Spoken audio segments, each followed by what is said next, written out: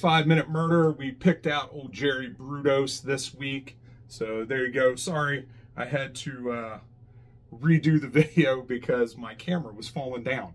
So I got about halfway through and then needed to redo it. So yeah, Jerry Brudos, let me read you this again, the back of it. Uh, was born on January 31st, 1939. Uh, died on March 28th, 2006.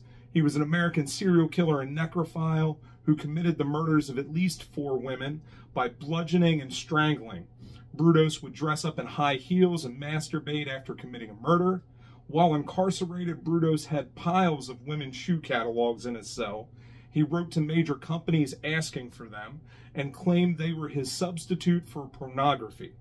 Brudos died in prison on March 28, 2006 from liver cancer.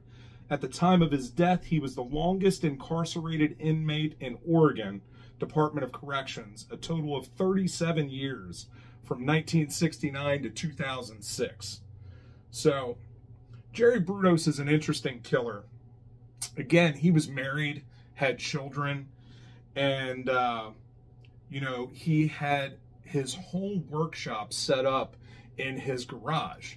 And he had devised the system where there was like a doorbell where his wife would have to ring him because he would lock the door in the garage so that nobody could come in. And he set up like an intercom system from what i understand where he could talk to her if she needed anything in the other room while he was working on his projects uh, whatever those were right? He was often dressing up in uh, women's shoes and spending lots and lots of time in there so apparently for Jerry, it started when he was really, really young, right? When he was just, you know, uh, I think six or seven years old, he found a pair of his mom's shoes and uh, just loved them. He put them on, he would wear them around. Uh, and one day his mom caught him.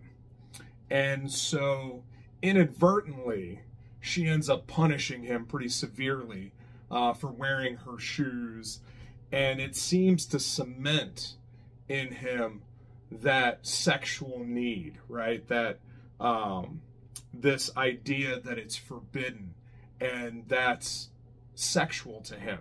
So later on, he goes to school, and you know, his mom had a really bad reaction, and then he sees his teacher, and he's watching her feet underneath the desk, and he can see that she's got high heels on and he is uh, very, very interested. And she happens to notice that he's interested in that. Uh, I believe at some point he actually steals one of her shoes and uh, has it, and she finds it.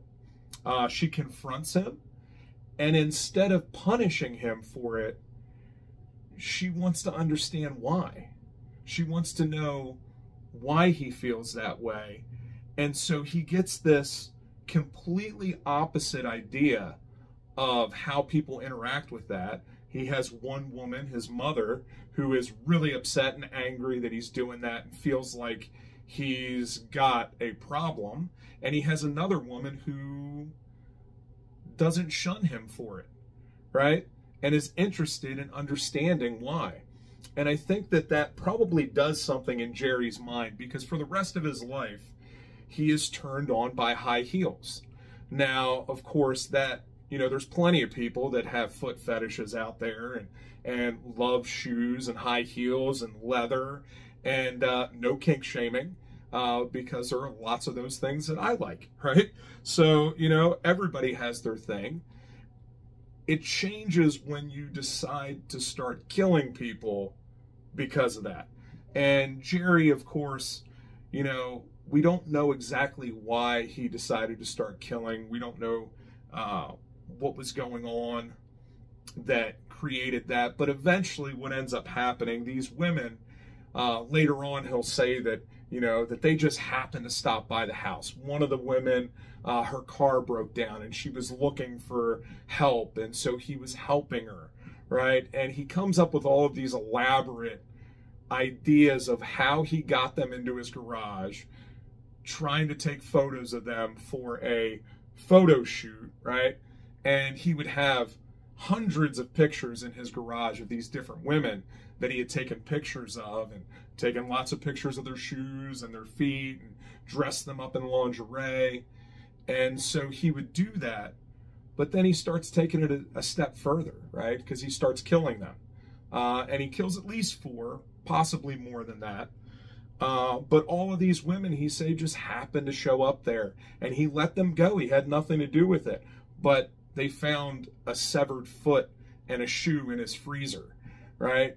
He had uh, uh, dismembered one of the women's breasts and was trying to keep it and trying to figure out how he could, you know, preserve it, right? He ends up throwing that away at some point.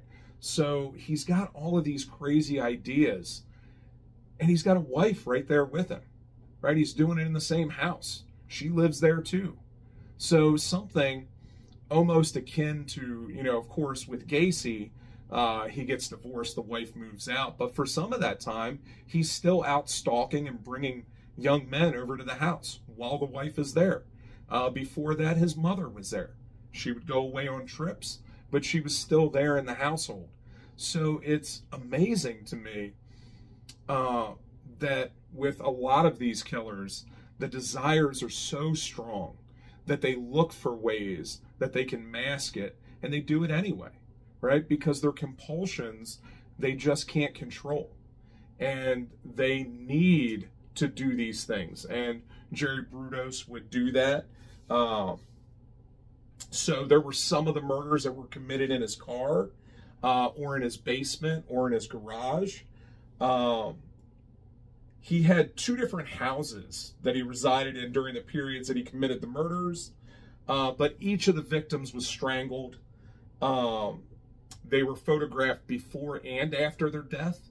So he had photographs there of them alive and then photographs of them not alive, which is interesting because he denied all of it, but all the evidence was right there.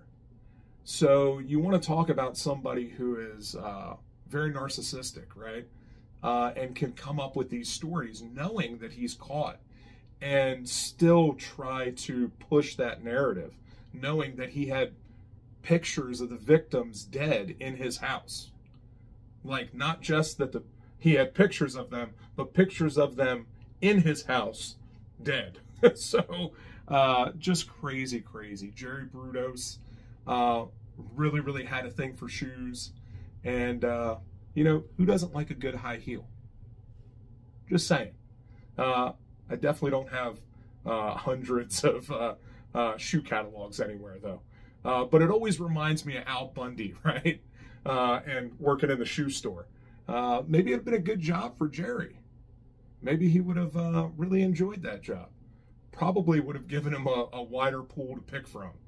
But there you go. Jerry Brudos dies of of liver cancer, and uh, couldn't happen to a nicer guy. If you haven't seen, uh, if you haven't seen it, and I don't know who's watching me that hasn't watched Mindhunter, uh, but on, I want to say it's, I think it's season one of Mindhunter uh, that Jerry Brudos is in. And uh, the guy who plays him does a great job. He's very narcissistic. Uh, but I think it's interesting. They have the one scene where they bring him a pair of shoes and he like pretends at first that he's not interested and then he walks off to the side and like pulls out the shoes and uh, you know whacks it right in front of them. So you know obviously it was a very sexual thing for him uh, and for a lot of people out there. Uh, you know it just is what it is. Uh, like i said no kink shaming at all. Uh, just don't kill people right don't harm them and then kill them for the things that you desire.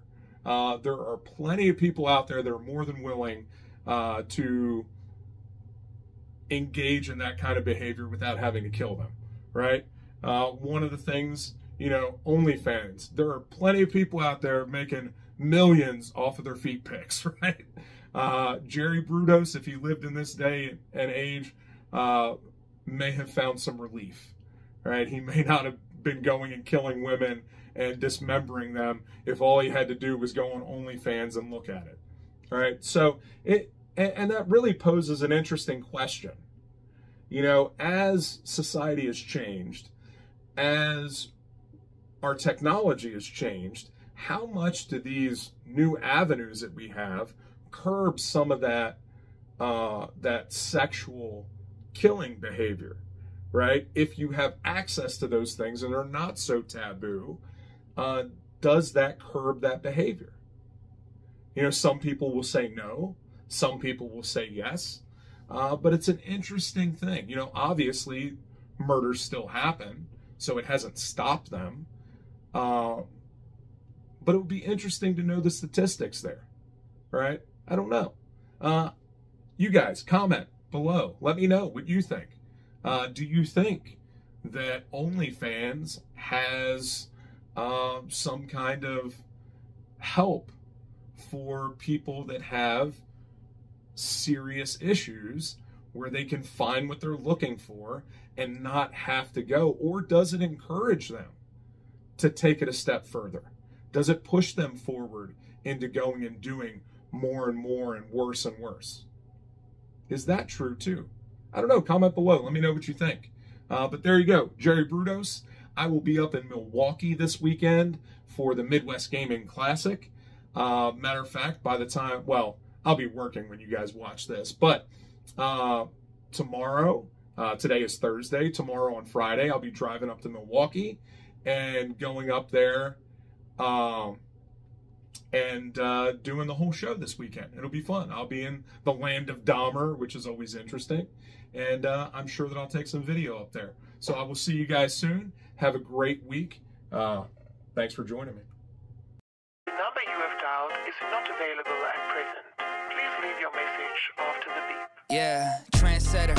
Whoa, league of my. like the job for me. So everybody just follow me. Cause we need a little controversy. Cause I feel so empty without me. I said